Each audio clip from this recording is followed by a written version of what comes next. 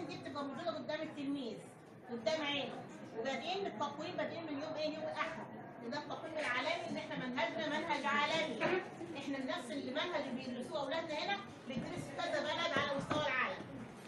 فهنا دخلنا النهارده 1 نوفمبر بنعمل دايرة على 1 نوفمبر. بالنسبة لبتوع الرياضة بيعلموا بتعلموا الأيام بتاعت الرياضة بس. آه لا. التاريخ والأيام آه. الاجازه فيها بتتعلم آه منهم تاني أيوه الأيام الاجازه بنتعلم بنعلمها اليوم ده عشان يعرف إن هو مثلا يوم الجمعة يوم الجمعة ده يوم اجازه لو كان في عطلة في عطلة رسمية هنعلم برضه يوم مختلف عشان يعرف إن اليوم ده اجازه وعطلة رسمية. في بعد كده جدول المئة اللي هو ثابت عندنا من أولى لثالثه. من بنبتدي من الجدول من واحد ل 120 اللي هو بيكون دروس الرياضيات في الترمين. الترم الأول فيه 60 درس والترم الثاني 60 درس. دي بيمثل 120 درس رياضيات مقرر على تلاميذ الصفين الأول والثاني والثالث. بنبتدي من ناحية الشمال. واحد من الشمال بينتهي 120 من اليمين. ليه؟ الغرض من ده اللوحه بتاعت المئة الغرض منها إن إجراء العمليات الحسابية. سواء الجمع أو الطرح والضرب والقسمة. آه، كل ده بيجرى على ال- ال- اللوحة دي عشان كده إحنا عملناها الواحد من الشمال عشان إجراء العمليات الحسابية تبقى سهلة إن إحنا مثلا لو طرحنا 64 من 4 54 من 64 هيبقى 64 هي ال- ال- الرقم الأعلى. فبيبقى سهل بالنسبة لنا إجراء العمليات الحسابية على لوحة ال- لوحة ال 100 طب وصلوا وصلوا يعني ليه وصلوا لغايه 120 في هدف لغايه 120 ولا هي جت كده؟ إيه؟ يعني لغاية 120 واقف ليه؟ ما إحنا قلنا دروس الرياضة. دروس الرياضة. 60 في الترم الأول 60 في الترم الثاني آه. قال لك 120 يبقى سنة أولى. آه.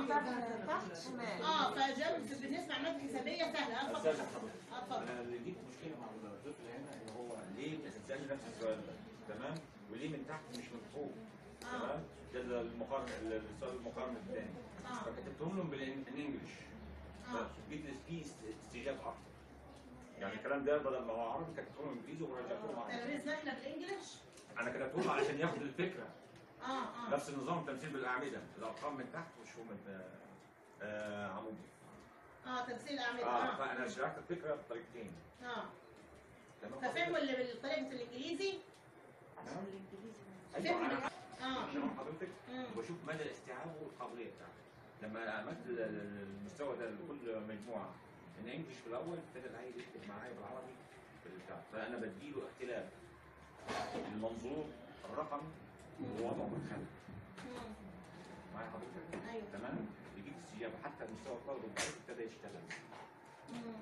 عايز دي فكرة دي. ده بس ده مجهود شخصي. أنا ما أنا عارف إنهم إن برضه يعني. عملتها عشان هو الطفل واخد من الشمال من اليمين انجليزي آه. تمام؟ آه. عشان اوصل له الصورة ما هو الغرض من الشمال اليمين هو إجراء العمليات الحسابية. إحنا لو بدأنا من واحد من هنا ممكن يبقى في اختلاف. تمام. في اختلاف في العمليات الحسابية. حضرتك أنا بقول لك عشان خاطر أديله الفكرة. آه. الجدول ده ما ينساهوش. الزموش ما ينساهوش آه آه في الذاكره أنا بلعب على الذاكره آه، آه. ال- ان في واحد اثنين انجلش بنكتب الشمال- من الشمال آه،. الشمال مش متعود على العربي ان نكتب من الشمال تمام. لليمين واحد فعلا متعود على اليمين بس.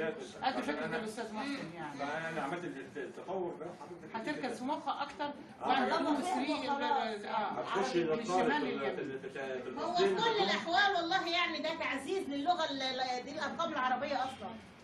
اللي هو الرسم ال 1 2 3 ده أرقام عربية. ده ده هندي. لا يا أستاذ حضرتك أنا بتكلم يفكر. مش. عايز يبقى إيه مثلا إيه يعني أوجد له حل سريع. إنت إنت ما فهمتش ليه إحنا بادئين واحد اثنين من الشمال عشان هم باللغة العربية؟ لا السهم هنخلوا لك إنجليزي. ليه؟ ثواني حضرتك. آه.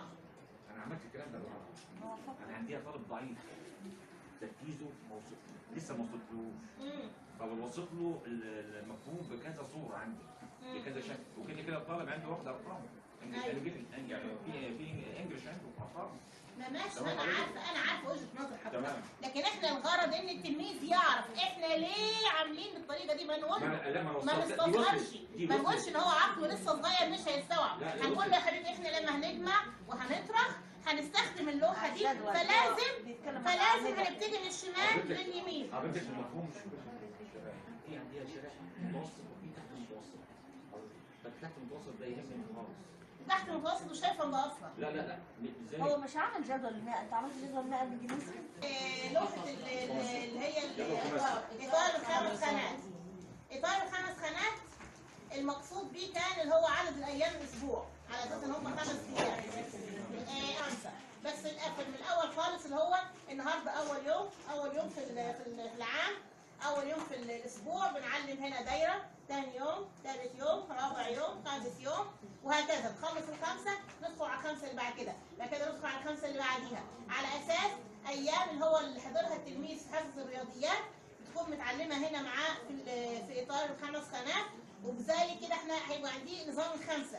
هو بدل هنا بيعد بالواحد لا هو هنا بيعد أو بيقفز بالخمس بالخمسة. خمسة بعد كده 10 15 20 اللي هم عندهم لعبة في سنة أولى اللي هي القفز بالخمسة. القفز بالخمسة. طيب إحنا قلنا التقويم.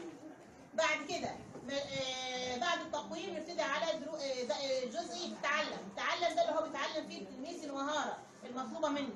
بيتعلم المهارة المطلوبة منه.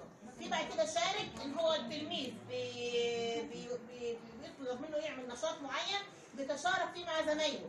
يعني بيتشارك هو وزمايله في عرض النشاط اللي هو قام بيه. ده بالنسبة للصف الأول. الصف الثاني آه، الدروس. بدل ما تقويم وتعلم وشارك لا بيبتدي الأول إيه؟ اللي هو. آه، الأول تقويم بعد كده تعلم بعد كده تأمل. تقويم تعلم تأمل.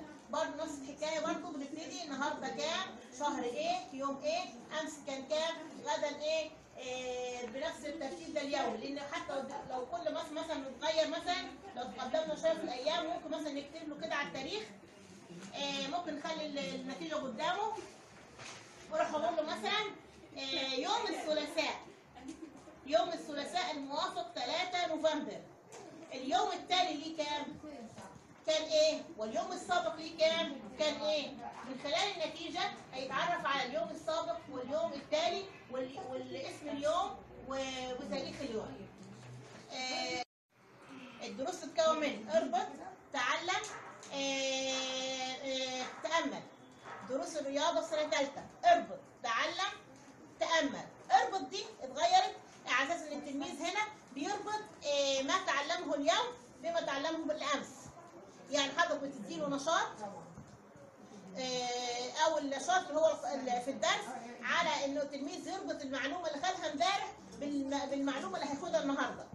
ف والتعلم اللي هي الجزئيه اللي هي خاصة بالمهارات اللي هيشتغل عليها التلميذ اللي هيتعلمها في الدرس ده وتأمل برضو إيه اللي اتعلمه زي نظام سنة إيه زي نظام سنة ثانية اللي زيادة عن سنة ثالثه اللي هو اللي غالب على منهج سنة ثالثه في كل كل المواد اللي هو التفكير الناقد عايزين التلميذ يبتدي يفكر.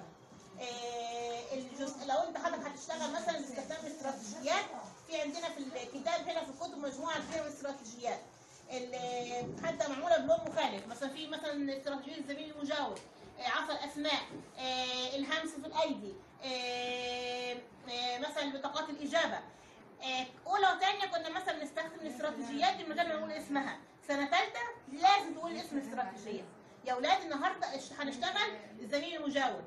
سنة ثالثه يا أولاد النهارده هنشتغل بطاقة الإجابة. مثلا هتقول مثلا سؤال والأولاد يكتبوا الإجابة في بطاقات ويرفعوا البطاقات كده الأعلى.